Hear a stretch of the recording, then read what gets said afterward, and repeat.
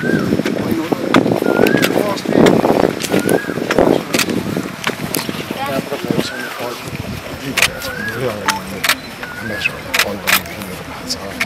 हाम्रो as a कन्ट्रीको हिसाबमा हामी जहाँछौँ त्यहाँबाट चाहिँ शत प्रतिशत थाहा छ उताको चिजहरू फेरि कस्तो भन्दा अब यहीँभित्र अब हाम्रै अन्तर्गत भन्दै यो गर्नु यो गर्नु भन्न पाइन्छ त्यसका फेरि अरू धेरै कुटनीतिक मर्यादाहरू छ तर आई अस्योर यु मेरै अगाडि परराष्ट्र मन्त्रीजीले चाहिँ त्यहाँ पटक पटक मन्त्री परिषदभन्दा अगाडि सरकार पनि एकदम चिन्तित तर अब त्यो डोमेनलाई हामीले कसरी गर्ने त्यो कुटनीतिक त्यसबाट भन्नेमा स्टक भएको छ।